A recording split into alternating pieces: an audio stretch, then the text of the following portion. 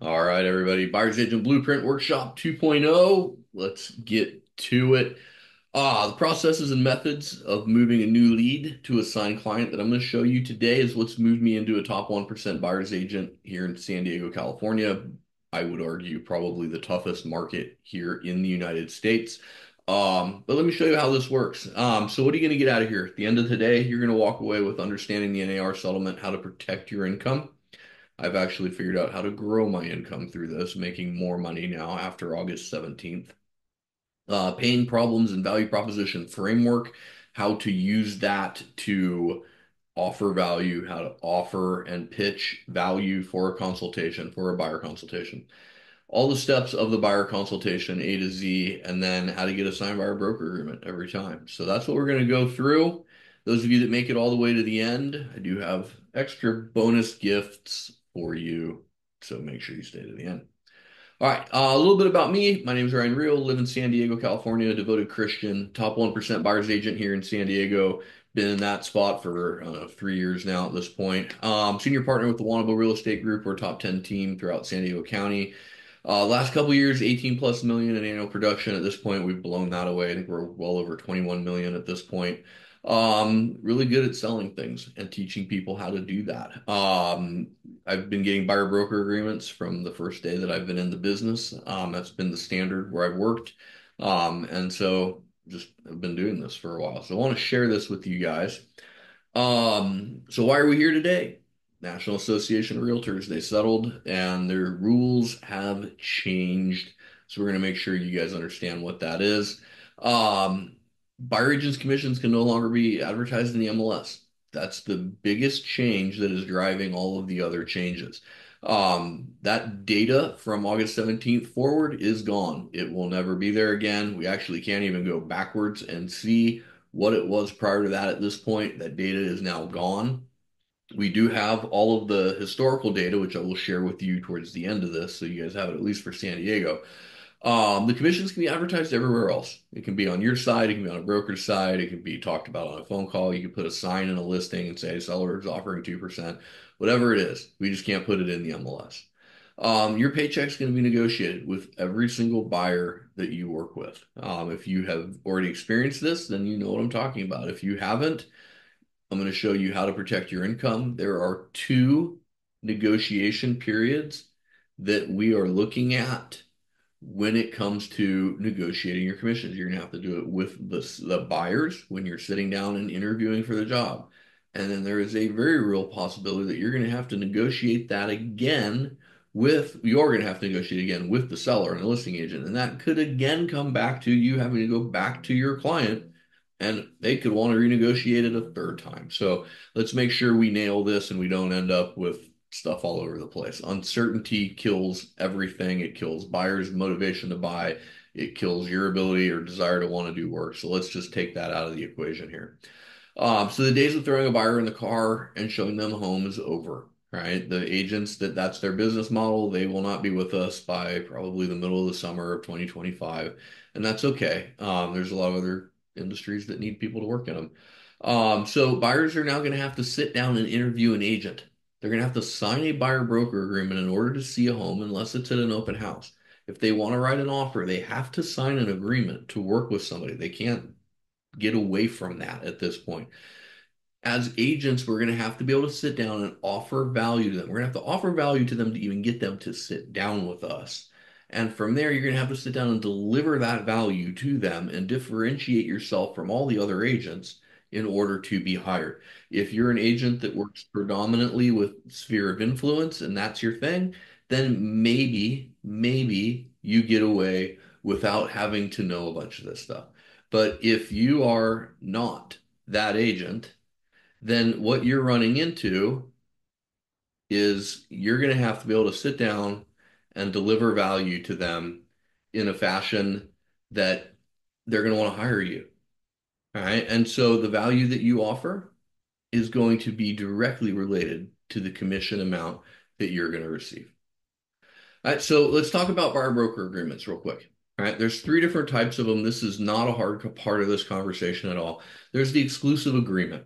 Right? The gold standard of this is you have an exclusive buyer broker agreement where a buyer is agreeing to work with you for any home that you want to buy. That's what we need to be aiming at. Anything short of that, you got to make sure the juice is worth the squeeze. The next type of not of exclusive agreement, which some people will call a non-exclusive agreement, it's kind of some wordplay here, is that it's exclusive to one home only which also some people are saying, I will sign an agreement with you to see one home, but it is not exclusive to all of the other homes. Kind of a wordplay here. If you are going to show a home and you do not have an agreement in place with them that they are going to use you to buy that home, you are a moron. I cannot be any nicer than that. I can be a lot meaner than that. I come up with a lot more colorful words, but you are a moron if you are going out and showing somebody home that you don't have an agreement in place if you're going to be a showing agent, I could use one. Let me know. I'm hiring, right? But then you can come out and you can show people homes and I don't have to. And then they're going to use me to buy the house. It doesn't make any sense. Don't do that, right? That's kind of what this touring agreement is. Um, I think these pretty much have died away at this point. Zillow tried to come up with this to say, you can sign this agreement and we'll show you a whole bunch of homes and you don't have to commit to using us. Don't do that. Just please don't do that. You're going to be out of the business. All right. So, exclusive agreement is the gold standard. Any property in an area, that's what we're aiming at. So, how do we get to this? How do we get somebody to say, I will sign away my future ability to buy a house and I'm going to put all my eggs in your basket? So, let's go through that. The first thing is we have to understand the life cycle of a buyer. right? We are going to have to meet somebody, meet a husband and wife, meet a per a, a guy, a gal, whatever, whoever, whatever it is that's wanting to buy. And you're going to meet them at an open house. You're going to meet them from an online lead. They're going to click on the website. You're going to meet them at the supermarket. It could be a referral from a friend. It could be whatever it is. You have to meet this person and go from, Hi, my name is Ryan. It's nice to meet you, to let's sit down and have a conversation about exactly how I can solve your problems. And at the end of that conversation, I have to ask them to sign a buyer broker agreement that obligates them to work with me. That is the hardest part of real estate. Getting them to show up to the consultation is the hardest part. The second hardest part is delivering the value. And so we have to understand that there's a life cycle. We have to be able to meet someone where they are at. So let's start with this. This just comes down to categorizing leads. It the system that I use, there's I have six different categories. There's a new lead, means they just came into the system. My CRM literally keeps them there for about five seconds before it moves them directly to the qualify status. So a qualified lead, you can call this ABC, bronze, silver, gold, you call it whatever the heck you want. All right. Um, but you just need to come up with names. You need to come up with something that you understand what they are. So a qualify is a lead that has just come into the system. I haven't spoke with them. Nobody has spoken with them. I have no idea what the heck is going on with them other than they clicked a button, they came in the door of an open house. And what I need to be able to do is get in touch with them on the phone. You can do this in person at an open house. If you get to a skill set where you can meet someone in an open house, have enough of a conversation, get them to agree to a buyer consultation later that day, the next day, Monday, whatever that is, and get them to show up without ever having to talk to them on the phone, that is stellar. Right? That is stellar. It's doable, very doable, but that requires a high level of skill set. So what that means is you're more than likely going to have to call them and get them on the phone. And after you have them on the phone, you're going to have to deliver enough value to them that they're going to want to sit down with you. And so that ladies and gentlemen, is what we are trying to figure out how to do. And that's what I'm going to show you how to do. So during this, the qualify stage, they're there for 10 to 14 days. That's it. Right? If I can't get in touch with them after 14 days, and you could argue 17, I can live with that, whatever. But at the end of this period, they are out of the qualify stage. They're moved to another stage based off of whatever conversation you had at an open house, on the phone, text message, email, whatever it is. But during this 10 to 14 days, right, this is the 10 days of pain for them, right? They're going to get 10 plus phone calls, five plus text messages, and five plus emails. You need to reach out to them and connect with them because here's the thing. Let's say that everybody on this workshop lives in San Diego and you all, we all are working in the same area, right? And all of us each have an open house on Saturday from 12 to 3. And one set of buyers goes to all of our open houses That means every single one of us is going to have an opportunity to follow up with them. If you're the agent who's going, oh my God, I would never call them 10 times. That is so rude. Oh, text messages. What? If that that can be you, and that's okay because you'll call them one or two times and maybe send them a text and like, hey, don't want to bother you. Like that can be your approach to this, but I'm calling them, texting them, and emailing them. The probability of me getting in touch with them is mathematically better than yours is. And guess what? all the other agents on here are going to have something between I don't feel like following up with somebody because I just don't do that, all the way up to maybe even going harder in the paint than I'm going with that. How many opportunities do you want to have to get in touch with somebody? There's data out there that shows it takes seven phone calls, seven attempted phone calls to get somebody on the phone. If you're giving up after two, what results are we expecting? All right, so keep that in mind. All right, the next category is the hot category. These are people that are ready to buy in the next 30, 60, 90 days. These people are ready to roll. They have a pre-approval letter. They're out looking at homes. They probably have written offers if they found one they like. These are your most valuable leads, right? The most valuable category overall would be under contract, right? Those are people you've already met with. They've already signed the agreement with you. Those are that's those are your most valuable people.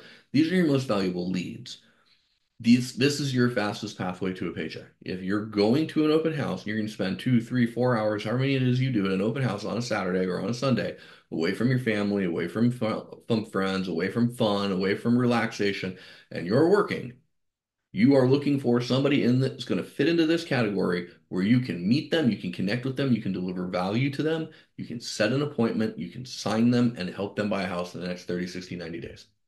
These, this is the gold mine. These people we are contacting one to two times a week by phone. There is intention behind what we're calling, not just calling, hey, want to check in on how's your home going. That's not what we're calling for, right? We're calling with a specific intention. From here, warm is the next category. These are people that are three to six months out, right? These people are getting a call twice a month, every two weeks. They're going to get a phone call with intention. From there, we have the watch category, six to 12 months out. These people are getting a call once a month, once every four weeks, however you want to chop that up. The last category is the archive category. These are people that are 12 plus months out. If this is an online lead, this is somebody who is extremely early in the research phase they're a year plus away, but they're like, hey, um, I want more info on this house, and somehow I ended up on your website, and I have to fill out this form in order to get behind that thing to look at the house. So here's my name and my info, and I want to look at the house. They're nowhere close to buying. They're 12 plus months away from buying. Super early research phase buyer. This could be somebody you meet at an open house who says, oh, yeah, we're the neighbors. We live four doors down, and we bought six years ago. Cool. You're a seller lead You've owned for six years. Chances are within the next four, mathematically speaking, you're probably moving. So I'm going to follow up with you once a quarter. All right. Now, here is why this is important. We have to meet the, the leads where they are at. If I have a lead that is a hot lead, ready to buy in the next 30, 60, 90 days, and I contact them as if they are a watch lead, I'm calling them once a month I'm either going to get really lucky and I timed it perfectly and they answered like, oh my gosh, yes, we just saw 123 Apple Street online. We want to go see it. Like, oh, great, I'm going to show it to you. And you got lucky. Chances are, if you call them once every four weeks, once a month, and they're ready to buy in the next 30, 60, 90 days, 30 days is a month, they've already, oh, this, the, Ryan never followed up with the Ryan, we never heard from you. Like, we heard from this other agent and he seemed, he seemed really good and we're, we're signed with him. Oh, but, but we had such a, uh, I'm sorry, Ryan. Like we just we already signed. Like thanks for trying. If if it doesn't work out, we'll call you. Right? You don't want that. Conversely, if you have an archive lead, let's actually make that better. Let's say if you have a watch lead. Someone's like, hey, look, I can't buy for at least six months. We need to wait until the end of the summer when we can buy a new house in a new school district. And you start calling that guy as if he's ready to buy in the next 30, 60, 90 days. If you're calling this guy two times a week, how many times is it going to take for him to finally go either block or go, dude, stop calling me. We're not buying for six more months. And you're done. So we have to have these guys categorized correctly. This is the first part of this. Prospecting and lead follow-up. You got to meet them where they're at with your questions, with your approach and your frequency of contact. That's what we just covered, the frequency of contact. But the questions, this is where people either are good or they're not. Right? But how are we going to get a hold of them? The phone call is the gold standard. It's very simple. Text message, email, social media, recorded video, record a video on your phone and send it to them. Send it to them by text, send it to them by email. Use a service like Dubb or BombBomb or Loom. Record a video, send them the link to the video. Send it, get it to them. It's the best of both worlds. They get to see what you look like, they get to hear your voice, they get the message, and they're seeing your tonality, they're seeing your body language, they're seeing all of it. All right. Um, FaceTime, try it. If you don't believe me, try it. It's fun. Uh, people don't know what to do. they get a FaceTime call from a random phone number. They answer the phone. Give it a try. And they're nice. They're not rude when they actually have to look at somebody.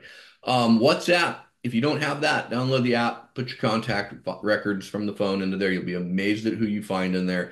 This is an everywhere but the United States app, right? This is texting, phone calls. It's an international thing. So if you are in an area where you have people who have moved from another country to here, they, I guarantee you, have a WhatsApp with family and friends overseas, whether it be they moved here for work, whether they're going to college, whether they went to college, now they're working here, whatever it is, great resource if you want to pull that up.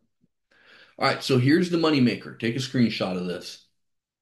These this is the these are the three things you have to understand as a buyer's agent. You have to understand and master how these three work together. Pain points, problems, solutions. If you got all three of these, you're going to get a buyer broker agreement. So let's go into this.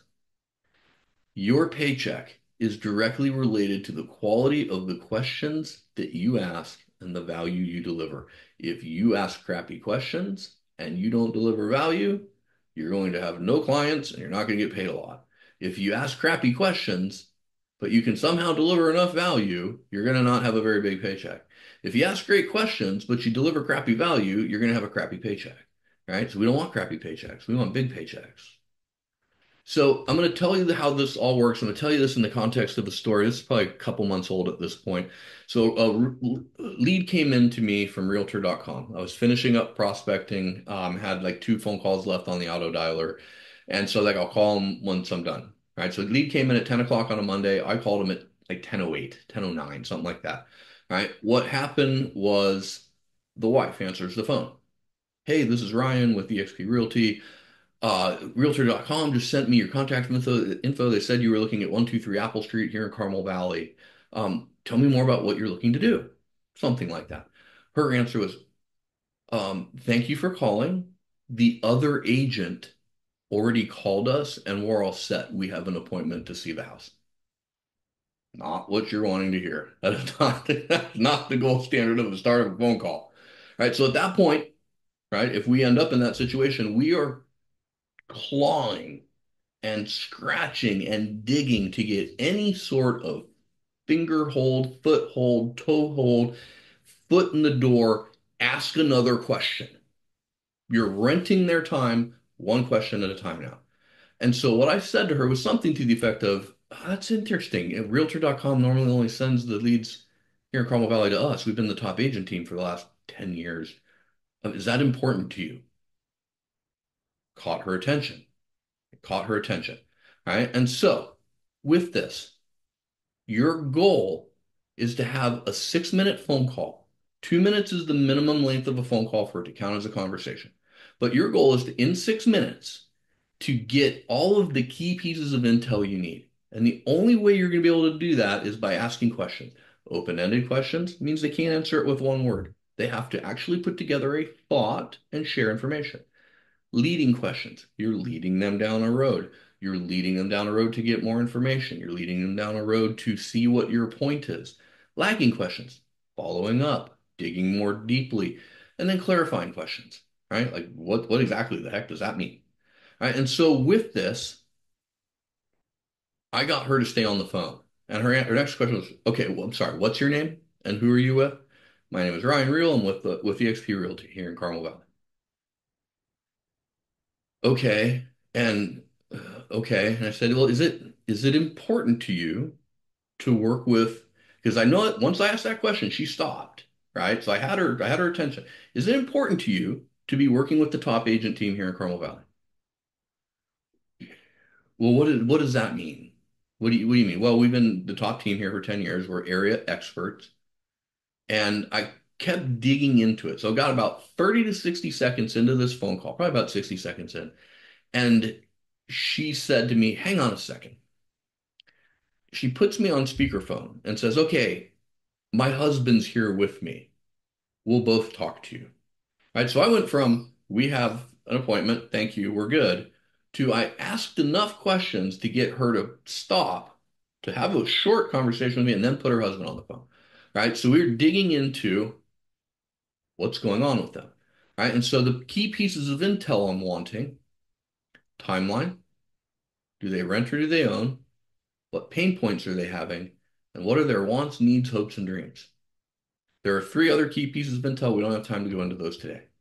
Right. And so through this conversation, I'm trying to figure out when do you guys want to be into a new home? Do you guys rent or do you own? Like what's going on with your current situation? And what pain points are you having? What's the pain? Right. And so what I was able to learn was they lived in Las Vegas and they wanted to move to San Diego to be closer to family, closer to their kids. I learned that they didn't know anything about San Diego, other than Carmel Valley was a nice area. I learned that they wanted to have a new construction home, a modern looking home. Right. So with this, as I'm asking questions, I'm being told all about the pain points that, that they have. The husband and the wife are telling me, and now normally, so when we get to kind of the consult thing here, normally you get one person on the phone. Normally that would be if I called the wife, I'm talking to her only. I'm never going to talk to the husband unless I'm able to set up a consultation. If I get the husband on the phone, I'm talking to him, not going to get to talk to the wife. Right. This I got very lucky in this situation where I had both of them on the phone. Right. Normally you only get one, so I want you to keep that in mind. But pain points are telling me this is what we're feeling. This is painful. This is really unhappy. I'm very emotionally upset about this. That's what pain is, right? It's a symptom, though, of a larger problem. I'm going to hear their pain all day long. But what I need to be able to do is I need to be able to determine what's the problem that's causing that pain. I need to be able to ask enough questions and dig deep enough about the pain they're telling me about to determine what the problem is and either the scope or the magnitude of it. So with this, when I can figure out what their problem is, I can offer them a value proposition. Value proposition is a statement or an offer that clearly explains the unique benefits and value that a service offers to its customers. It highlights how a service method or process solves a problem or improves a situation and why it stands out from the competition. Why should they hire me instead of this other agent? So as I'm going through this, I'm learned very quickly they don't have a clue about San Diego. They need to have an agent who understands the Carmel Valley area. They don't understand the market. They don't understand what it takes to win between three and four million dollars. That was their price point. They need someone who has an understanding of the communities. There's 133 communities in Carmel Valley. Five of them have the homes that they were looking at. Having the ability to find off-market properties, have relationships with the other top agents that sell the most number of homes in those specific five communities. I was able to determine the problem they had was they didn't know the area, they didn't have an agent that knew what they were doing at all, and they needed to come down that next weekend. So this was on a Monday. They were coming into town on Friday and they needed to see houses. They found one on Zillow or Realtor.com and they needed someone to show them homes and to be able to help them buy one. Through all of that, the value propositions I was able to come up with in my mind is somebody who understands the community, somebody who understands the market, somebody who has strategies to win in this market, somebody who knows all the other top agents in the market and has a great reputation. And that will carry the day if everything else is even close to equal with a counteroffer. How to find off market properties, how to make the most out of their time. All of those were value propositions that I was able to come up with to solve their problems which would alleviate their pain. So as I'm going through this conversation, it becomes very clear that this what this is to me.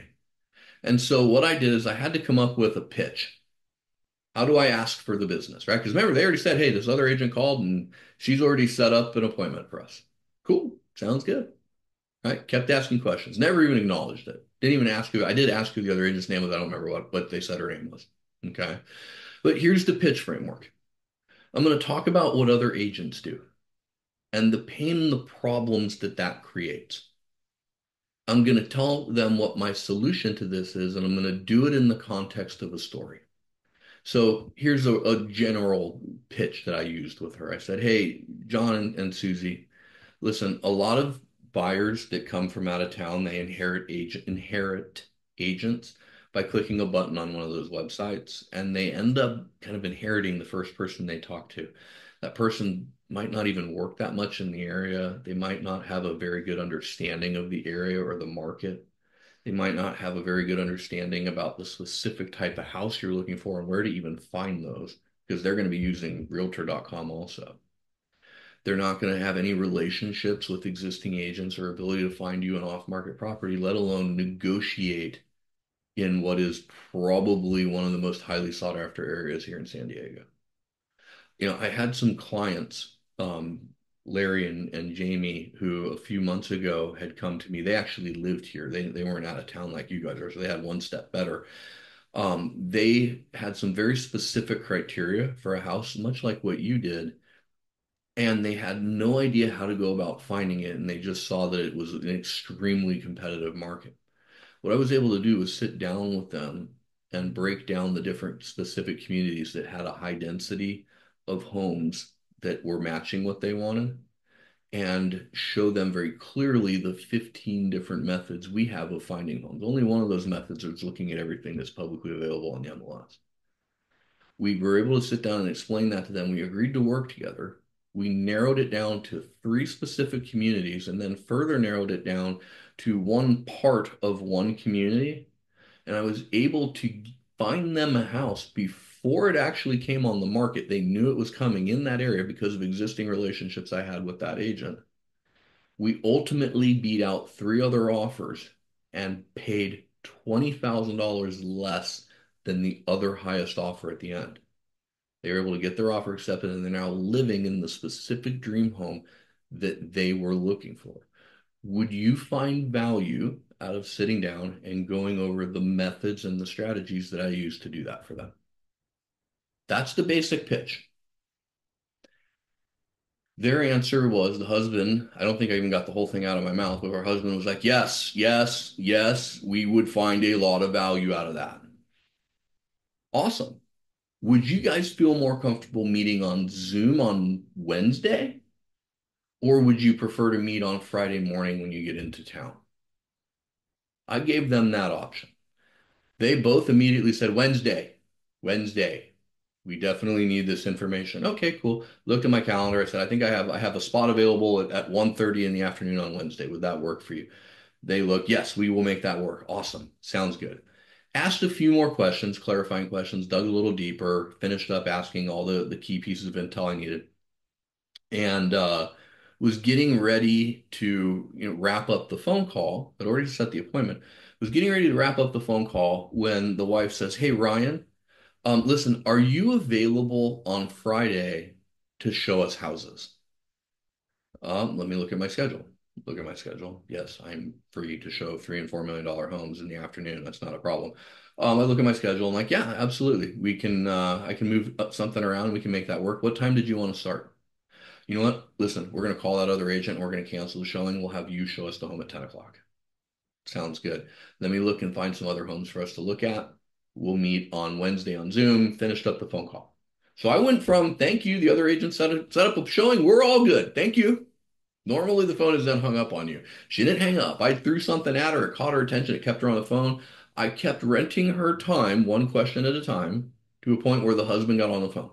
Now I'm talking to both of them, more questions, more digging, more probing, more clarifying, more questions. What's the pain? What pain am I hearing from them? What problem is creating that pain and how can I solve that problem? Made the pitch, set the appointment.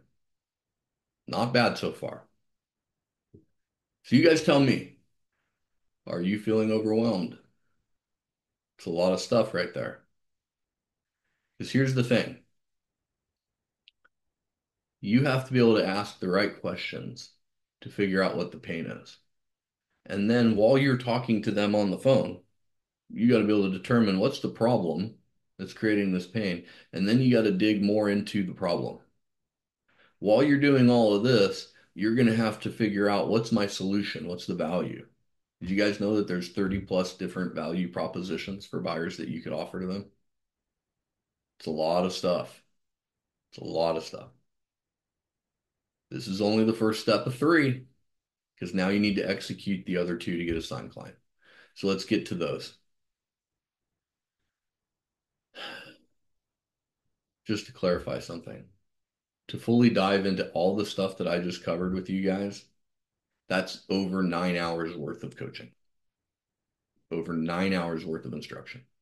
We covered it in 30 minutes, right? Giving you guys an outline, giving you guys the playbook, right? But now you have to have the specific place to call. All right, so let's get to part two, the buyer consultation. All right, so as soon as I got off the phone with them, there were key steps that I needed to execute on. These steps are designed to dramatically increase the probability that the lead's going to show up and the chances of success. This is a job interview, a $25,000 job interview for a $1 million buyer. That's 2.5% of a $1 million purchase. I'm talking about somebody who was between three and four million dollars. So that's between a seventy-five to a hundred thousand dollar commission. Right? That's what I was able to set an appointment for. There's immediate actions, there's actions within 24 to 48 hours, and then there's actions on the day of. So let's dig into these. Let's make sure you guys know what these are.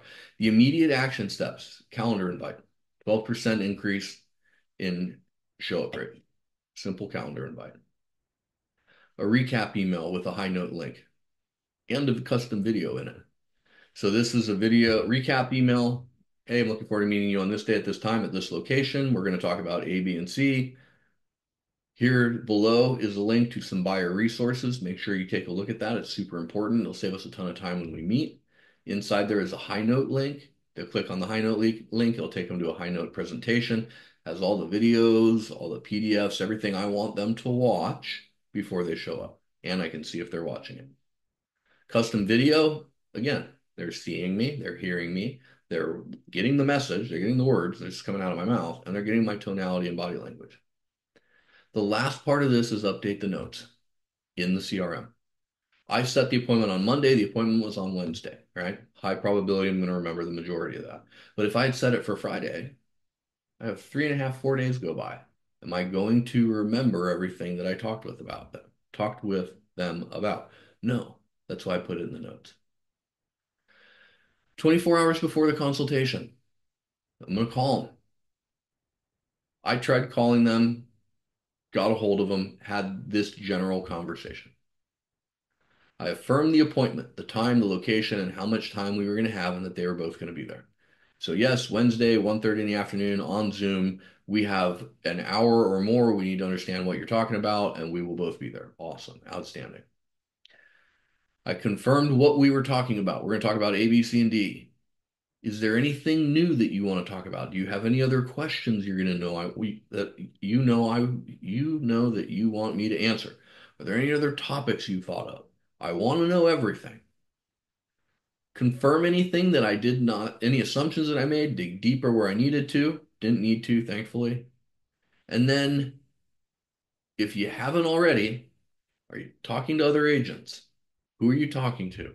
If you've already had that conversation in the first round, which you should have, you now can go back for more information. Have you met with any of them? Was there anything you liked during the presentation? Is there anything you didn't like during the presentation? What's most important to you with the agent you hire? Have you eliminated any of those agents? If you like what I have to show you to, tomorrow, are you in a position to agree to work with me? All questions to ask. That all happens 24 hours in advance the day of the consultation. If you didn't get a hold of them the day before, go back to the slide and do that the morning of, right? Like really do your best to get it done 24 hours in advance. But if I have got a hold of them, I'm going to send them a simple text message. Hey, look forward to seeing you guys today at 1:30 in the afternoon. We're meeting on Zoom. Here's the link. If I'm meeting in person, we're meeting at 1:30. Here's the address. Come in the main doors, go to the right, first door on the left. Whatever it is. Very simple. That's all your pre-consultation stuff. It is a job interview. It is a job interview. $1 million buyer, $25,000.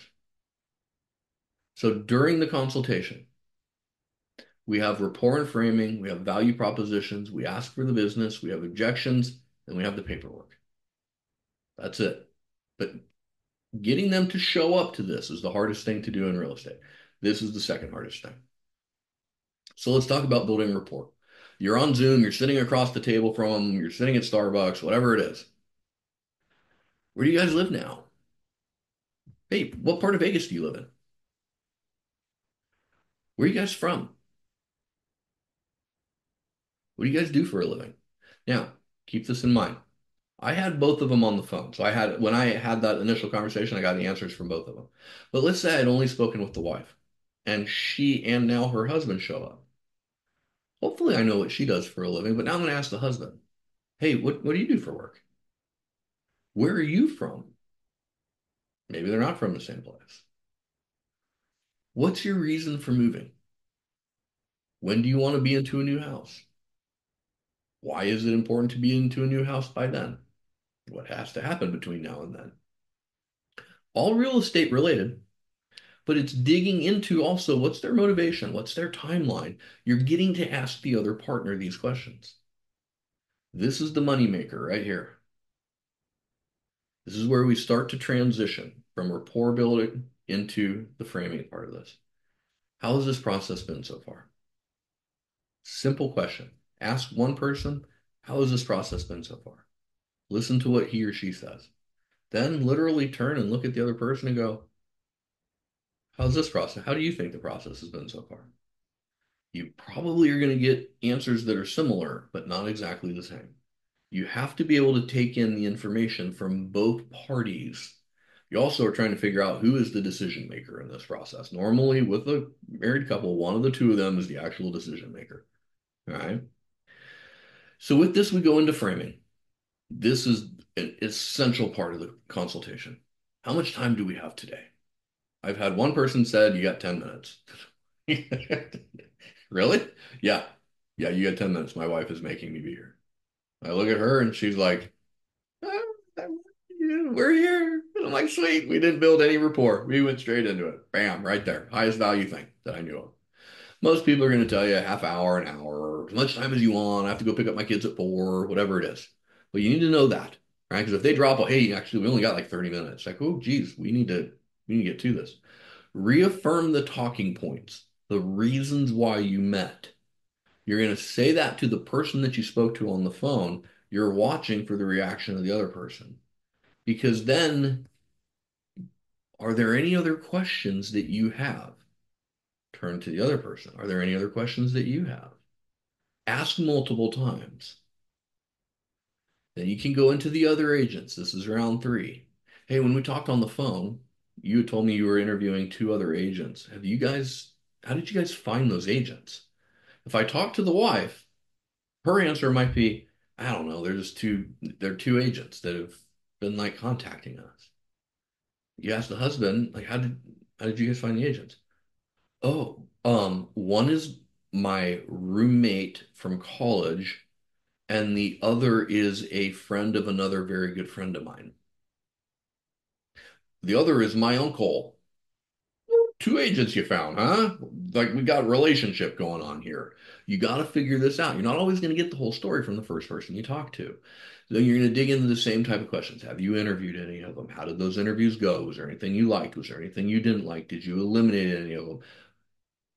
If you like what I have to show you today, are you in a position to agree to work together? You might want to know that.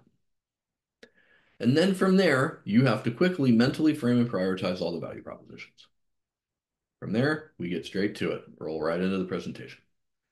All right, so the presentation. deliver all the value, give them everything. They're never going to be able to do it on their own. It's not going to happen. They're never going to be able to relay enough of what you're telling them accurately to another agent that the other agent's going to be able to follow along with what they're saying. Oh, yes, expires and canceled. We do that too. Cool, because we explain a lot more about that. All right, are you going to go explain the other two or two minutes worth of explanation of that? Or are you just going to be remember it was expired and something? Listings that used to be on the market, I don't know, but can you find those? Yeah, absolutely, we can find those. Come on over here and work with me. That's what another agent's going to do. To be, oh, yes, absolutely. They're expired, it's canceled. There's also some withdrawals. They're not going to get that. All right. So here's the thing. Here are the two keys to this. As you are explaining the value, you need to confirm continually that they're understanding what you're saying. Does that make sense to you? Does that make sense to you? Right? Ask. No, no clue what you're talking about. Okay, hard stop. Go back, figure this out. Yep, no problem. Do you guys have any questions so far? Nope. Yes, I have a question. What did this mean? Oh, this meant that. Okay, cool. Got it. Move on. If you go all the way through a seven minute explanation of a value proposition and they're like, yeah, so like when you first started talking, you use this word that I didn't understand. And what is that? And you're like, holy shit, that was at the beginning of this entire thing. Like, I'm gonna have to go back and explain what that word means, and now I got to re-explain the whole thing. So, because they probably stopped listening once they didn't understand what I was talking about. The other thing we need to do is lay and set hooks. You're confirming the value you're delivering as you go. Do you see value in that? Does that seem valuable to you?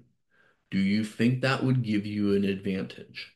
Would you feel comfortable having that advantage?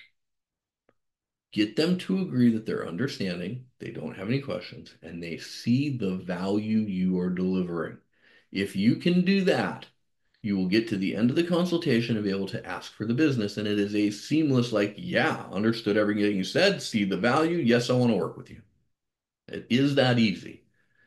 This is an important piece. You always have to establish your value before ever talking about commissions, or they will never see the value. How much is your commission? It's two and a half percent, but let's talk about the home buying process um, my colleague said that their agent did it for one and a half percent. Can you do it for one and a half? Well, let me show you why I'm worth two and a half. Um, can you do it for one and a half or not? Uh, and now you're in a really awkward position.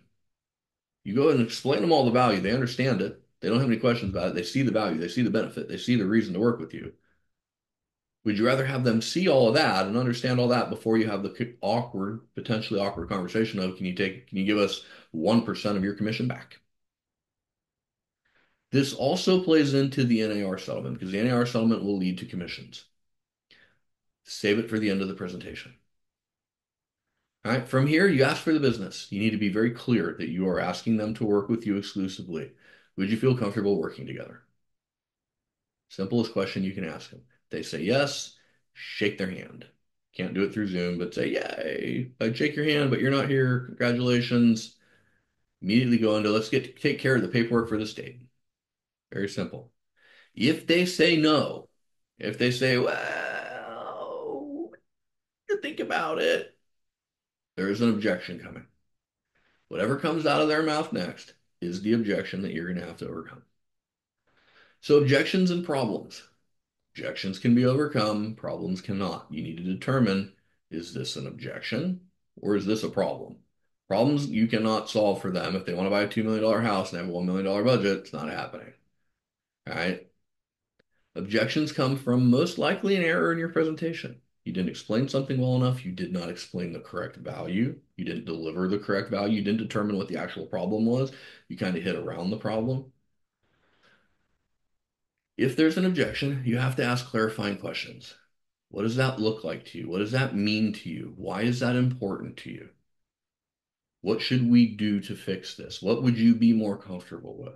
What if we go to it? All right, so from here,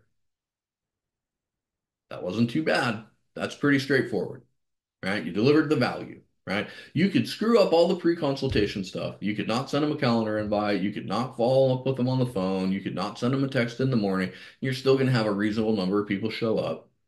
And then you sit down and you explain the value that you're bringing to the party. let's go ahead and get into part three, not part two, about the NAR changes in the buyer broker agreements. All right, the paperwork is the finish line, right? Football, you're at the one yard line, first and goal. Got to score. Field goal won't win the game. Got to score touchdown. NAR settlement, buyer broker agreements, how commissions are going to be paid. That is what you have to be able to explain to them. So let's go through this. I'm going to show you how I would explain this.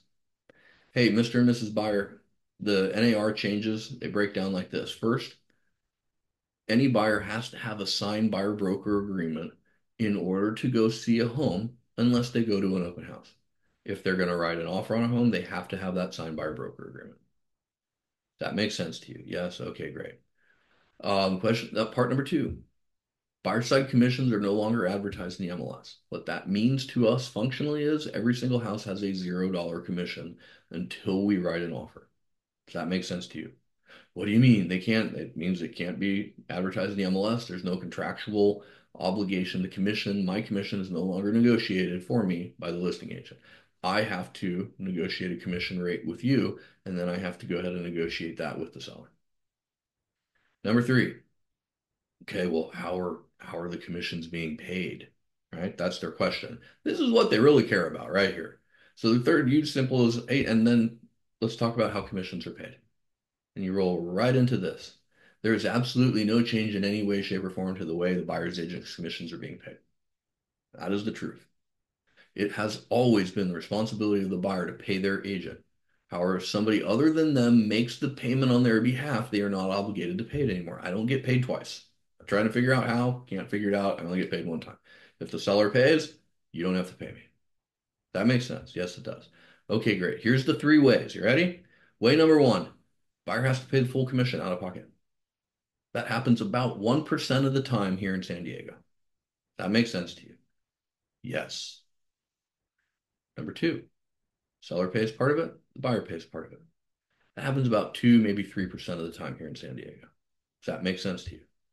Common question, what does a part of a commission mean? Anything under 2%. Okay, got it. What's your commission rate? We're going to get to that in a minute. The third way that this is paid, seller pays the entire commission. That happens about 95, 96% of the time here in San Diego. Does that make sense to you? Yes, it does. Do you have any questions about it? What's your commission rate? Right. From there, what are you asking for? I'm going to tell you the way that I do it, which has grown my commission, grown my pay. I will tell them that if you have to pay me directly, you'll be capped at 2% of the purchase price. But you also give me the ability to negotiate with the seller, though, for up to 3%. That's how I solved that problem. Out of all of the deals that I have done since October 17th, only one of them has been at 2.5%. All the others have been at 3%. So let's roll this out. How did this play out? We went and looked at four properties. Did the buyer consultation. Comfortable working together? Yes, I am. Send me the buyer broker agreement. You want to walk through it? Nope. Send it. We'll sign it. Great. What's your rate? Two and a half percent, but you give me the ability to off to negotiate for three. Cool, no problem. Went and looked at four homes on Friday. Came back, looked at one home again on Monday. Wrote an offer at $3.6 million with a 3% buyer side commission. We beat multiple offers, $108,000 commission. That's the fruit of everything that I've shown you guys. These skills have led to well over $21 million in sales at this point this year alone. I think we're up to 22 and a half ish right now. And there's still more to come this year. How much money have you guys lost this year before or after the NAR settlement took place without these skills? It's a leaky funnel, leaky bucket. How much money? How many deals? Without these skills, without what I've shown you, the problem though is this is only going to get worse in 2025.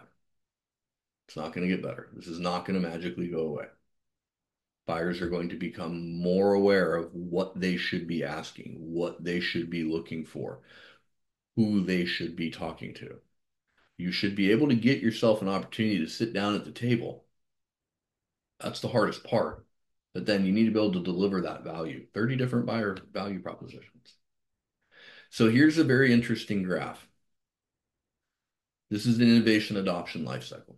Two and a half percent of the agents out there, it's uh, it's those of us that are innovating right now. It's those of us that are teaching this, that are leading teams with this, that are out implementing this, the ones of us that are getting three plus percent commissions. That's about two and a half percent of the agents. I think they said there's something like 100 million agents in the United States. Then there's going to be early adopters. These are the people that have already started learning this, they've already started perfecting it, or they're about to start. Like you guys and gals that are on this webinar right now at the workshop, you're like, I need to figure this out. Like, I'm going to fill out a little web form and I want to sit on this workshop and hear what Ryan has to say.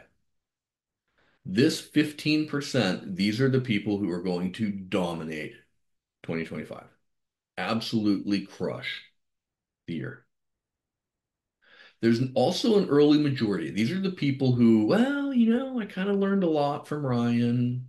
You know, the, the what he showed us was good, and I'm going to implement this. I can do this on my own, and they're going to go do it, and they're going to do well. They're going to do well.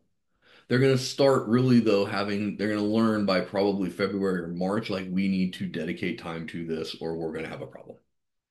This right here is 50% of the agents. If you remember back in March of 2024 when the settlement was announced, the projections were that across the country, half of the agents will no longer be in the business by the end of 2025. That's your halfway point right there. These people, the early adopters and the early majority. We have a late majority. These are the people that are going to get to the summer and go, oh no, we've only had one deal. We've only had two deals. And I'm going to go to Starbucks tomorrow, but I'm not going to order a drink. I'm going to ask them to hire me to make people drinks because I've only done one or two deals. I'm not trying to make fun of those people, but these are the people who aren't getting it. You have the laggards. These are the people who are already out of the business, already on their way out of the business. They will be out of the business by the end of next year. So the question is, where are you going to fall on this scale? Where are you going to fall? Because the reality is, if you don't evolve and grow your skills, you're going to go extinct in this business. You're going to go extinct.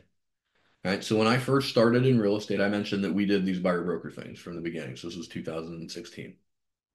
So if you're anything like I was, you're feeling extremely overwhelmed, like you're getting left behind. I know that everybody on the team that I joined had a lot more experience than I did. They were signing signing buyer broker agreements. They were out killing it, and I'm like, value? How do I offer value. Ask them if they sat down and explained the home buying process. That was the value I had. Right? You had to learn a lot more than that.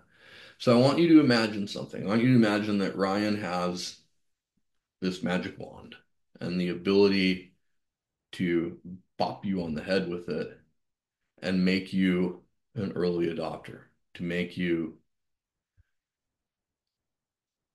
in the front half of that innovation adoption life cycle.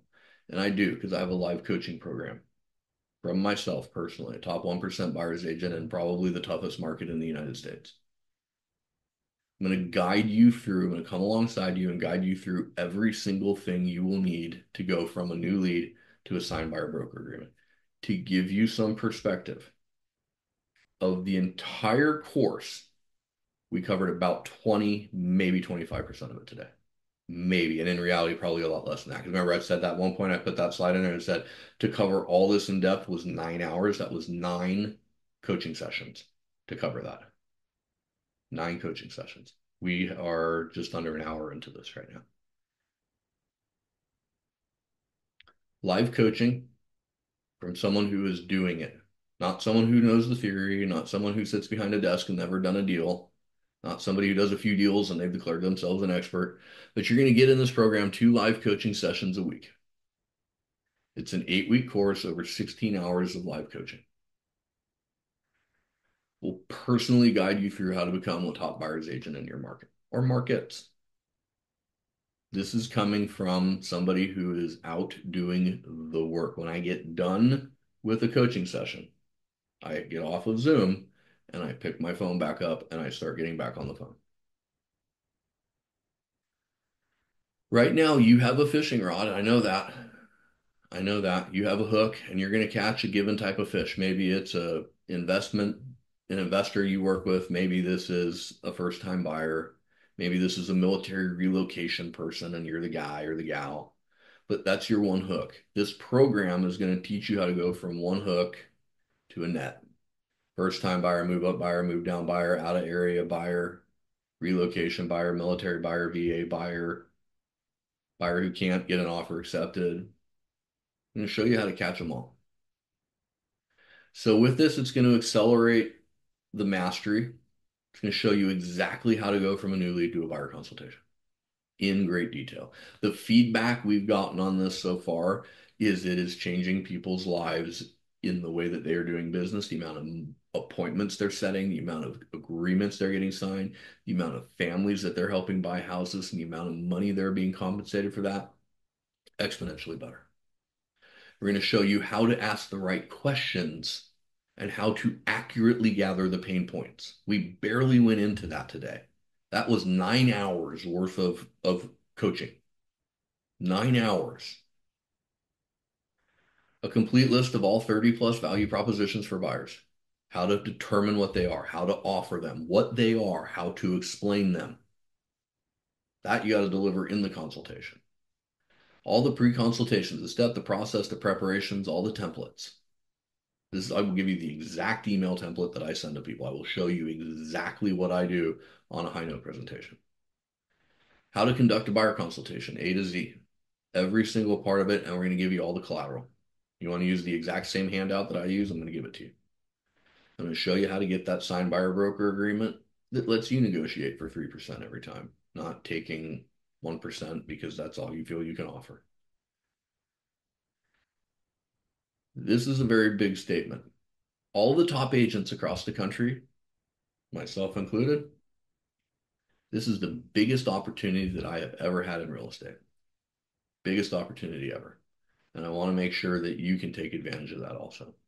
So that's what the material in this course is going to do. It's exactly why this is the biggest opportunity for you in your lifetime in real estate and show you how to use this to make more money for your family. So where are you going to be in this? Are you going to be an early adopter? Or are you going to be an early majority? Or are you going to be out of the business? Only you can decide that. So here's the deal. If you've made it this far, you get the bonus gifts. You got to scan that QR code.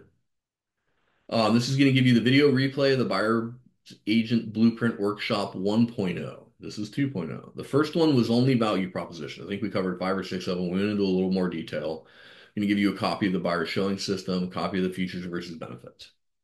All right. Book a discovery call. There's no obligation. There's no cost. We don't take everybody into this program. I think at this point we probably turned away more people than we have in it because this is this is a high level program. Somebody has to be coachable. They have to be hungry. They have to want to be successful. They have to be willing to commit to coming to the classes. Right. This is a higher level thing, guys and gals.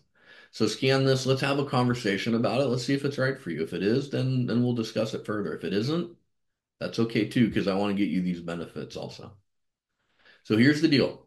We got eight spots that we opened up this week, 50% off the normal price. 50% off. Book the call, same QR code right there. We'll get you the bonuses.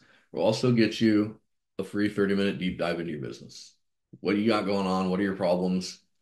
and how do you solve them? All you got to do is scan that QR code. That's all you got to do.